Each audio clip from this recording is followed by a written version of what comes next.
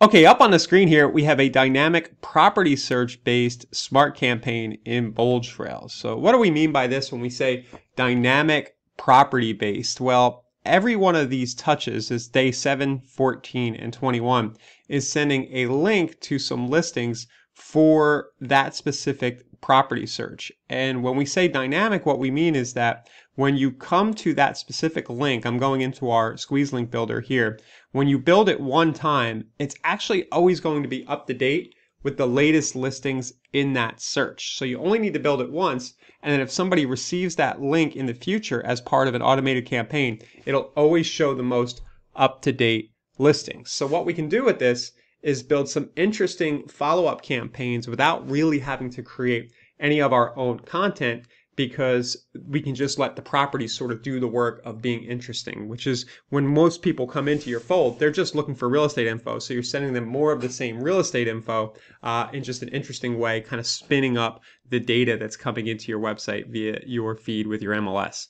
So anyway, let's look at one of these emails. And what we've done in our campaign is basically copy the same email multiple times and just changed it up a bit to match the type of property. So our subject line is property list of the week area new construction, Tampa new construction, Philly new construction. You can kind of do the Philly new construction dash property list of the week if you want and, and, mix this up. And then the body is hi name. So we would merge in the first name of the person. Remember inside of our smart campaigns, if we go and look at this particular email, it says hi name. But what we should do is use the personalization under the little sun type merge tag thing right here and say hi lead first name. We get our merge tag in there.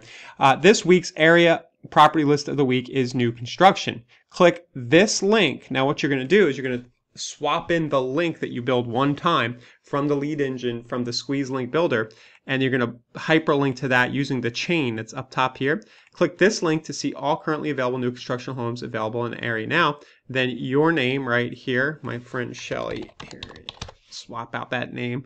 Uh, the and, and then the PS says the link above is always up to date with the latest new construction properties available on the market. Be sure to save this email or bookmark this link if this is something you might be interested in. So again, you can reword this however you want, but we're basically letting them know that this link is always up to date. They should bookmark it. And then the PPS is if you're not interested in new construction, but would like a different list, reply back and I'll send you a link that better fits your search criteria. You could also say, I'll set you up for alerts that fit those criteria and then use the features of BoldTrail, the automatic property search alerts to set them up on that search.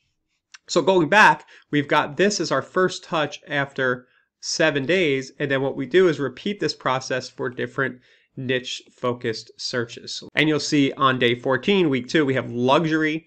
On day 21, we have fixer uppers. And then we can continue on and do all sorts of stuff like uh, golf properties, income properties, low price properties, price reduced. You know, you can spin your MLS data any way you want. And as a guide for doing that, just go into the lead engine in the system and start to play with the search filters here. So you could say homes with big square footage, homes with small square footage, homes priced over $2 million, uh, homes of all these different styles, bungalows, farmhouses, you, right here. Uh, all these options down at the bottom, open houses, uh, pool homes, waterfront, water view. So you can see that you can pretty quickly build out a campaign that maybe goes for a year or so, once a week, sending a new property list of the week where you only create the links one time and then it's evergreen. So any new buyer leads you get, even any new uh, seller leads you get, you put them on this interesting kind of drip smart campaign that's always sending interesting property data. And at the, the kind of core of this is the fact that any squeeze link you build in the system is always up to date with the latest data.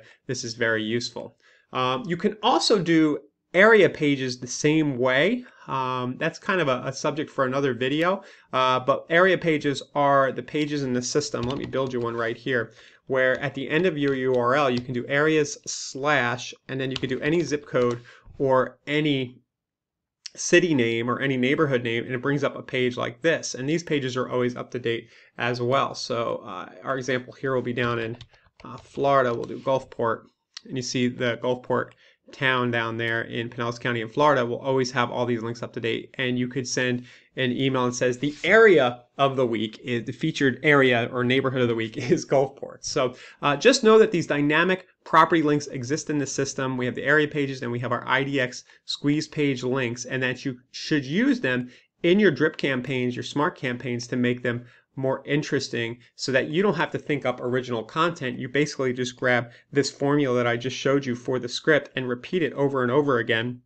Basically say the same thing and just swap out new construction for luxury. I actually just did a search and replace in my Google Doc to make my first three right here. So if you'd like to see more content like this and if you'd like a share campaign uh, for this particular campaign. You can share campaigns in BoldTrail. If you'd like for me to create a share campaign once I'm done building out this generic list with say 10 to 20 of these niche ideas, go ahead and comment down below and I'll make sure I post that share campaign once this is ready. Thanks for watching this video here from Inside Real Estate. Definitely subscribe to the YouTube channel, insiderealestate.com slash YouTube to get more tips and tricks uh, like this one.